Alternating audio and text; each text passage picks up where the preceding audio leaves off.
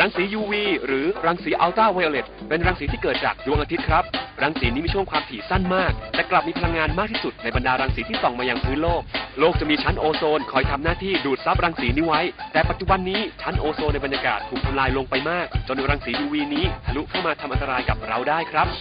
เมื่อร่างกายได้รับรังสี UV มากเกินไปจะเป็นอันตรายต่อตา และก่อให้เกิดมะเร็งผิวหนังได้ครับ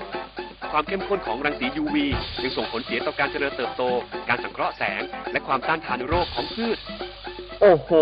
รังสี UV นี่มันน่ากลัวจริงๆเลยนะครับ แต่พวกเราสามารถช่วยกันได้ด้วยการลดการใช้เครื่องใช้ต่างๆ ที่มีสาร CFC ผสมอยู่เช่นโฟม สเปรย์รวมไปถึงครับ ลดการเผาไหม้เชื้อเพลิงที่จะไปทำลายชั้นโอโซนลง แค่นี้เองนะครับ เราก็สามารถช่วยได้ทั้งเราและสิ่งแวดล้อมในการปลอดภัยจากรังสี UV ที่น่ากลัวลงได้ครับ